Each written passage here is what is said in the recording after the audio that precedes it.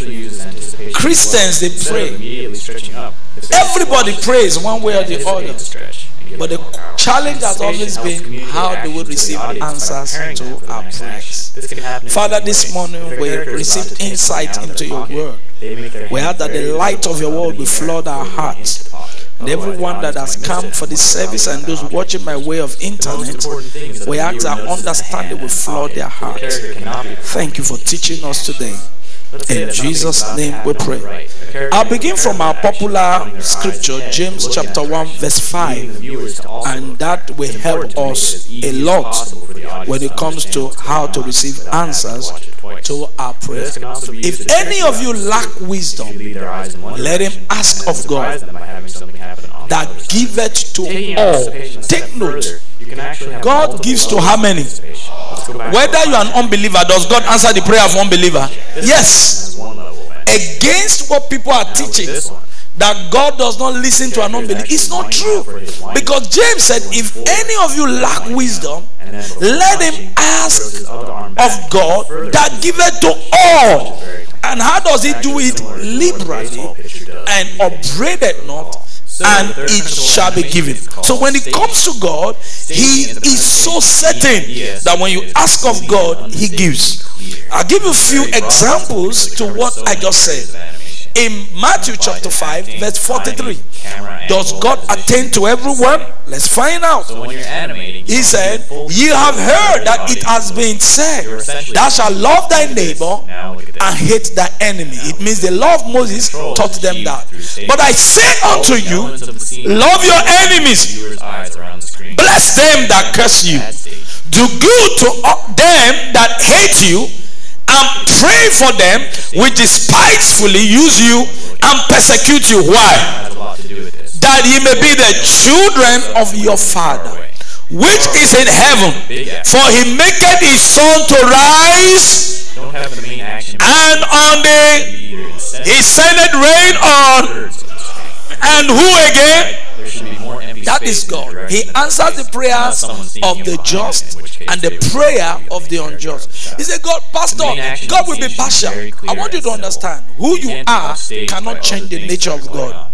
God's nature is that He giveth. Everybody say, God's nature timing. Let one is that He gives to all. Instead of overreacting. And how does He do it? He does it liberally, and He does not do it with, oh, I want to be selective. Oh, favoritism. That is not with our God. Mark chapter 5. I need to explain further because I don't just want us to stop there. Mark and chapter 5, very quickly. Mark chapter 5. I don't know exactly where to start from, Someone's house is but I supposed to be guess we can just start from the top to make sure the case of the woman that had the issue of blood. Mark Let's chapter take the 5. scene and give it the staging All right. This fat guy is Um, eating pizza. I'll The start idea that from we want to verse- convey is that he is a severe overeater. So let's set the stage more. Let's give him more pizza. Verse put 21. piles of pizza Verse 21. Please follow me. 21. move the Let's do something. And when Jesus was passed over again by sheep unto the other side, much people gathered unto him, and he was nigh unto where? The sea. Verse 22. Very quick. Uh, quickly now. And behold, there cometh one of the rulers of the synagogue, Jairus by name, and when he saw him, he fell at his feet where you draw the first and besought him greatly, saying, My little daughter lieth at the point of death.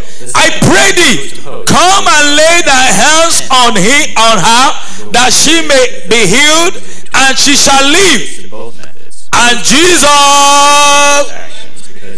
was Jairus born again.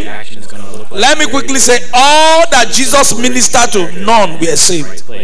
All the miracles of Jesus in the four gospel, none of them had received salvation. Salvation would be gotten upon death, burial, and resurrection. So Jairus came, met Jesus, and upon meeting Jesus, guess what? He said, Please follow me home. Lay your hands on my daughter, and my daughter will be healed, and my daughter will live. But look at the answer. Jesus followed. Now it means that we can pray, and the way we pray, we get the same answer. As soon as Jesus said that, the Bible said the man followed. Now we make some progress, and Jesus went with him, and much people followed him and thronged him. Come on, read with me. Next verse. Next verse. And a certain woman which had an issue of blood 12 years and had suffered many things of many physicians and had spent all that she had and was nothing better but rather did what? Do worse. When she had heard of Jesus, came in the press behind and touched his garment. 28. For she said, Who said? She said. Who said? She said. Who said? She said. It is what she said. For she said, If I may but touch his clothes, I will be whole.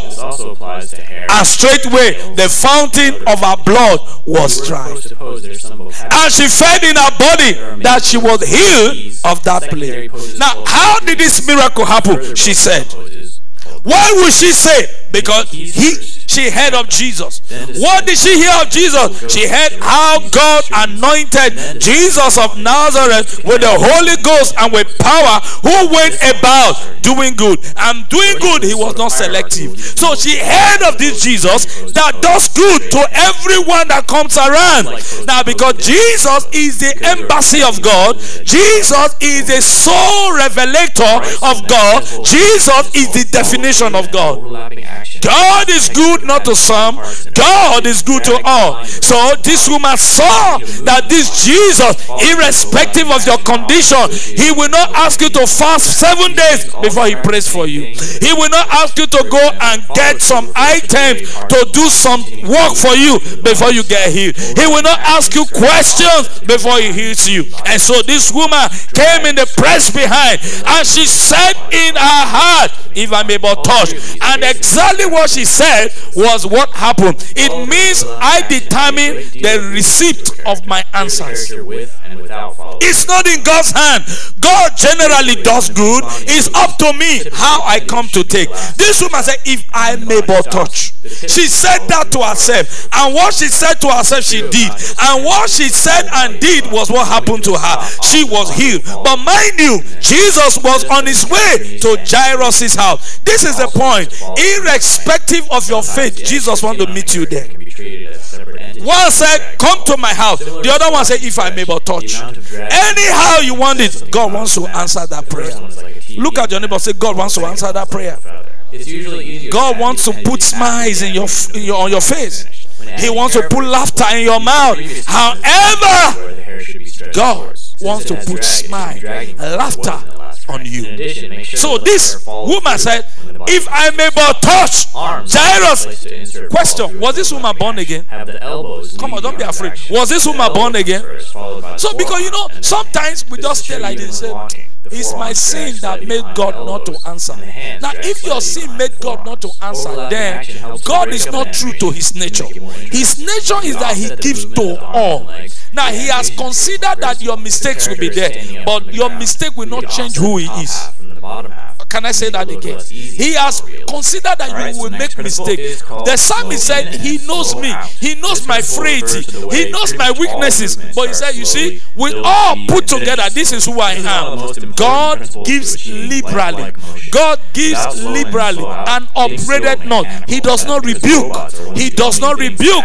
So when it comes to receiving in the place of prayer, I must zero in my mind. I'm dealing with a father who gives liberally who does not consider my shortcoming and what his nature is about is that he wants to see everyone receive answer to that prayer. Am I communicating? So back to James 1 5 where we read, so you have to understand how you receive answers to your prayer. Use it wisely. Say with me, he gives liberally. The NLT rendering helps us in breaking that word down. So I'll do NLT, I'll do amplify, and I will continue. You see, I'm just in verse 5 and I've not made progress down to verse 8. But I just want you to see. If you need wisdom, ask our generous God. Look at the word used again. He's generous. When you say one is generous, it means he doesn't look at faces to determine what he does. This kind of emotion can Oh, am I communicating? He does not look at faces. He does not say, okay, you are fine, I give to you. You are not fine, I will not give to you. Once God, the Bible describes him as generous God, it means that anyone that comes to him and asks, he will give. A good way to fix a choppy animation And he will give it to you He will not rebuke you for asking. That's to tell you that the first statement made that God gives to all, he went further by saying he will give it because that's his nature. So raise your right and say, God gives because that's his nature. Who I am cannot change his nature. What I do cannot change his nature. He is God, he is a giver, and he gives. My faith should be in the fact that he's God, he's a giver, and he gives generously. Who is the first to say amen, church? That's where God wants your faith to be. You know, people tell you it's because there is ancestral curse in your family. You still don't understand who your father is. Because if ancestral curse can stop God from giving, it means man can do a thing that will alter the nature of God. There is nothing you and I can do to alter who God is. Can I say that again? There's nothing you and I can do that will alter who God is. His nature is that he's a giving nature. Read with me the amplified rendering. If any of you is deficient in wisdom, let him ask of the giving God. Take note of the word. He's a giving God. He does it consistently. He's not in the past tense. He's his nature. He's called a giving God who gives to everyone liberally and ungrudgingly without reproaching or fault finding.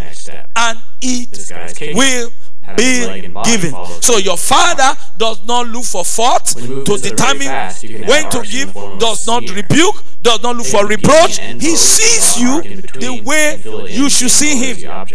He sees you as you are my beloved, and then you must see him as your okay, beloved father. Next principle because in this nature, secondary action. This principle now I'm going to ask you a question this morning because action, we just said something here Ollie, that verse 6 is going to shake your foundation. So verse 6, King James. For verse 6, King James. The primary Look action is the legs. But let him ask. Is everything else. The arms, in faith. So that is the problem. Pastor, what faith are we talking about? The secondary action of the other Say, but let him ask in faith. If it's not fist, wavering. So where will wavering happen in the mind? Graceful, happy vibe. In your thinking. If it's tucked close so the faith talked about here is not have faith in God. No. The faith that he's a giving God. The faith that he gives liberally. He shouldn't be, should I say yes or should I say no? Will it happen or will it not happen? So the faith will be he's a giving God. He does not rebuke. You see, when you have all of this at the back of your mind, all your prayers receives Don't let it go unnoticed. Can I say that again? All your prayers receive answer the challenge has always been very important. A sister went through the same condition I'm going through. And I believe that sister was more prayerful than I am. That sister was so committed in church. You see, it's not your commitment in church, it's not your devotion, it's your understanding of who your father is. Can I say that again? Somebody can be committed and devoted, but yet has low understanding of who his father is. Look at how the Bible puts it. That let him ask in faith, no wavering. So the wavering is it with God or with the man? It's with the man. It means he wavers as to the nature of God. The wavering is in the mind of the man as to the nature of God. For he that wavereth, did he say God that wavereth or he that wavereth? So the challenge is with the one asking. How are you asking? Are you asking to say, this one is too big for God? This other one is small. Let me ask for the small one because God can attend to this. This other one, God cannot. When you have that mindset, the Bible says, He that wavereth is like the wave of the sea, driven with the wind and what? Toss. Please look up. Look up. I'm doing something. And I want you to understand me. I may not be jumping everywhere, but I want you to understand something. Where does the wavering happen in the mind? Say that with me. Where does the wavering happen? Say like a minute. Where does the wavering happen? And most times it's a function of what we have been taught. Sometimes we've been taught wrongly, so we believe sometimes God answers, other times God does not answer. Ephesians chapter 4, verse 14 explains this particular verse. Ephesians 4, verse 14 explains this particular verse. So we look at it. He said that we henceforth be no more children, how? Tossed, to and fro, and carried about with every wind.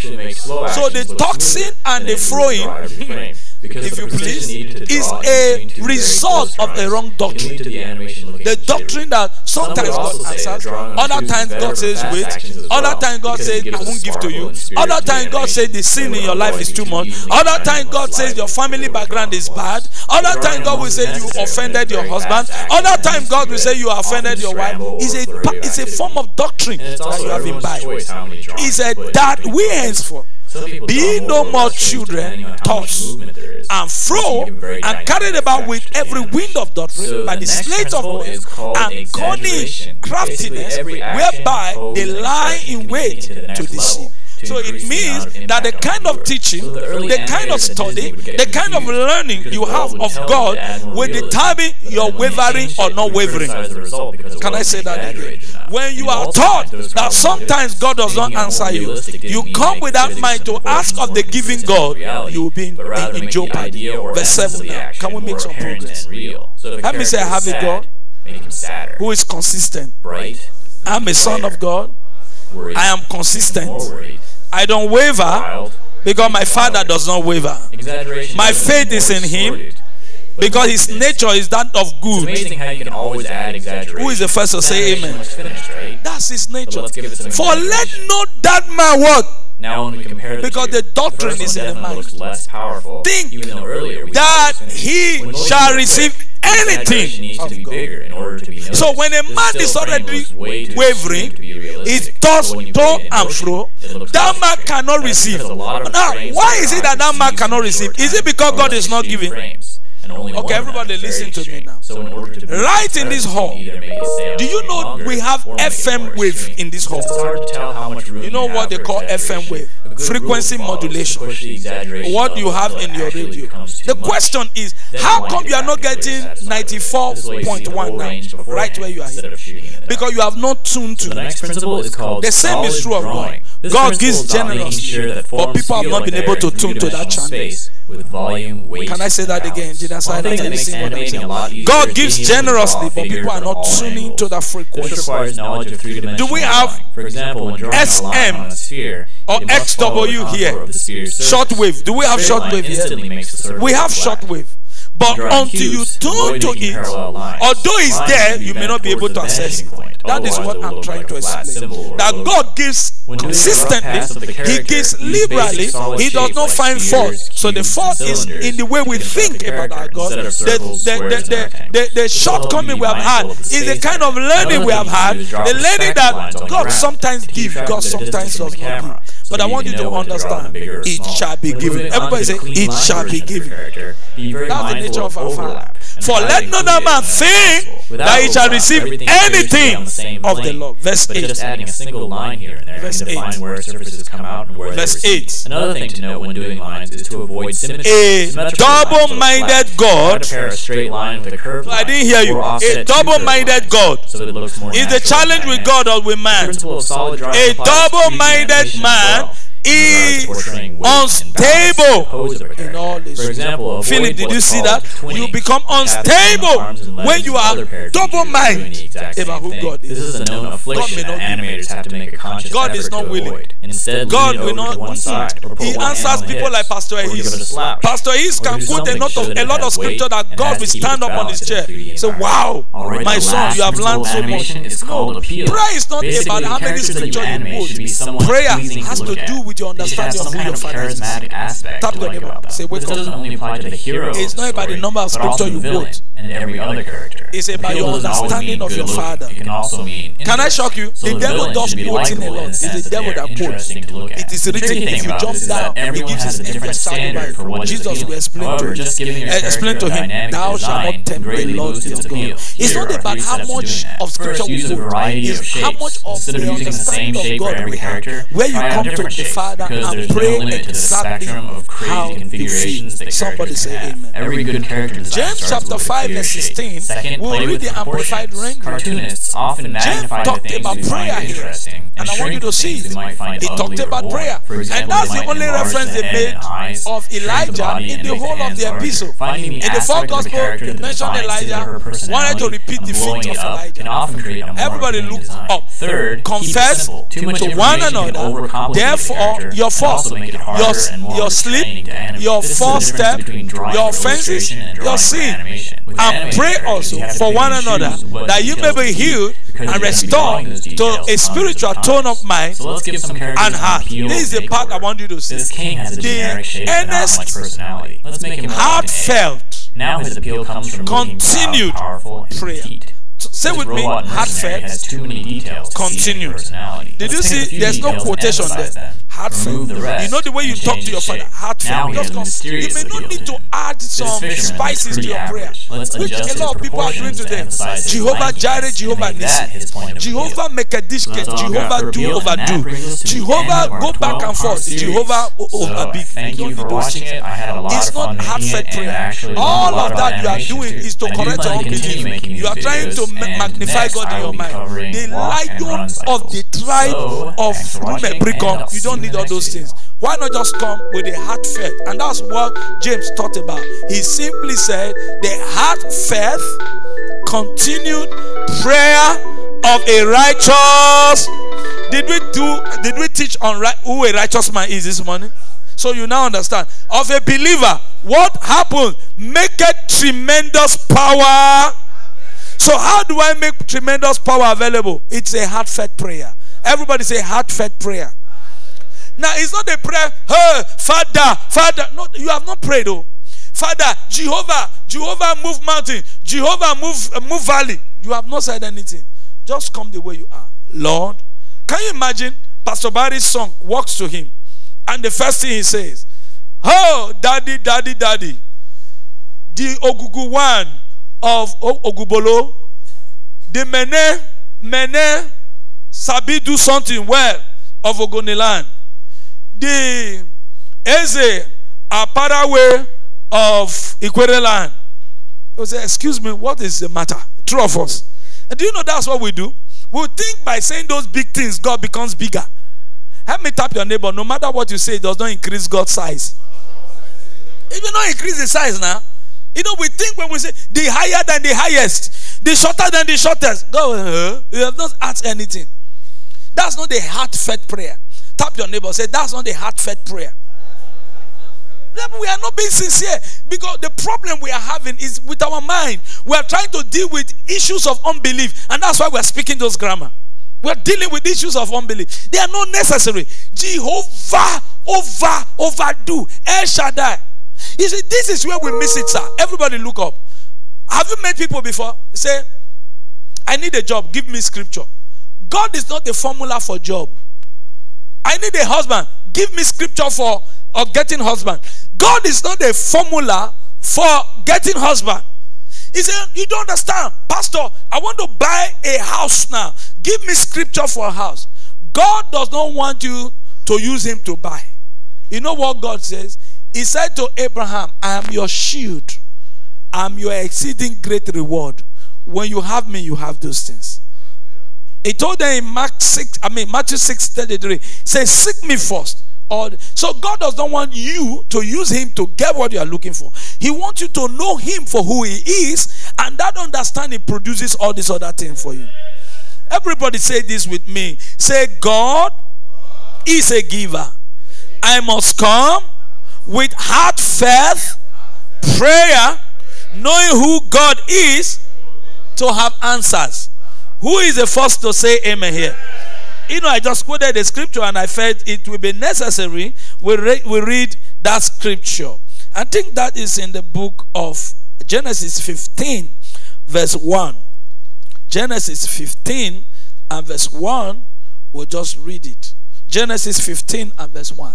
After these things, the word of the Lord came to Abraham in a vision, saying, Fear not, Abraham. I am your word, shield. This is where they got the word El Shaddai. I am your El Shaddai, your abundant compensation, and your reward shall be exceedingly great. He wants to be the I am in your life rather than using him to get things. Oh, come on, am I communicating? Because people just feel, okay, I need a new job. Give me scripture for job. I need a house. Give me scripture for house. I need a wife. Give me children. Uh, give me scripture for that. I need children. Give me scripture. You don't need scripture. You just need God to understand who He is. That is not. I need a scripture to and twist God. No, He said after these things, the Lord, the word of the Lord came unto Abraham in a vision, saying, "Fear not, Abraham. I am your shield." I like that amplified rendering I saw. I am your compensation.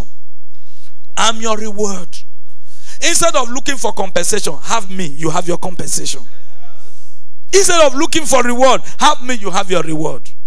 Am I communicating? See the amplified. After these things, the word of the Lord came to Abraham in a vision, saying, Fear not, Abraham, I am your shield, your abundant compensation. Stop looking for scriptures for abundant compensation. Your father is your abundant compensation. He said, and your reward shall be exceedingly great. So he said, Oh God, Jehovah El Shaddai. It's not just quoting Jehovah El Shaddai, it's knowing who Jehovah El Shaddai is. That he's your abundant compensation. And following through with him, you come with what they call heartfelt prayer. Everybody say heartfelt. Philip, did you hear that? Say heartfelt prayer. So when we say heartfelt prayer, exactly how you feel. You don't need to add curry. You don't need to put Maggi to it. You don't need salt. You don't need spices. Just come. Father, in the name of Jesus, truly, the money in the account cannot solve the things on ground. Lord, I ask for opening. I want to be able to meet this need and to meet this need and to meet this need. And Lord, I thank you because your word guarantees me all of this in Jesus' name. Instead of coming to God, Father, I blessed thee. You are using King James language to pray in this generation. Lookest thou not into the life of your handmaiden, and seest not thou what I go through, O God of my father? Why not sympathize thou with me? Least I diet. You don't need to do all that. Help me say heartfelt. Don't sound King James. Say it again. Say heartfelt. Don't sound King James. That is not what changes the situation. A lot of people like to sound King James. Oh God of my father. You don't need that. He's your shield. He's your exceeding great reward. Help me say with me, say, He's my shield. He's my exceeding great reward. For the last time, He is my shield. Is my exceeding great reward. It shall be given. Say like you mean it, say, It shall be given. Hallelujah. So this is how prayers are carried out. And this is how we receive answer to prayer. Coming to find out the nature of our Father.